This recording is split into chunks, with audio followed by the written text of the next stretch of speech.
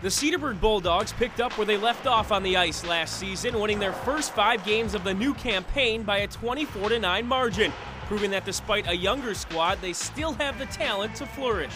It definitely builds confidence, but especially having a young team, it uh, really helps bringing everyone together and believing that we can do great things. It really helps us out because you know later in the season when we get in those close, tight games against some good teams, we'll be able to know that we can win each game and we have a good confidence level. Cedarburg is coming off its first North Shore Conference title a year ago, which included finally knocking off Homestead. This season, they're starting to figure out the new makeup of their group tough defense, speed, and a mix of youth and experience.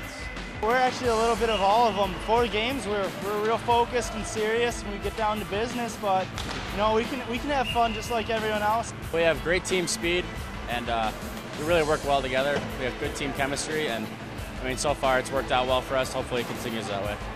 Even with the quick start, the Bulldogs are cautious, and they realize the tough part of their schedule lies ahead. Homestead, obvious. I mean, last year was the first year we beat them, and they're a crosstown rival, so that, and uh, probably the big teams, Marquette, Arrowhead. This is the first year that we're playing them, so that'll be a big game, and the crowd will be into it. So I think so will the team.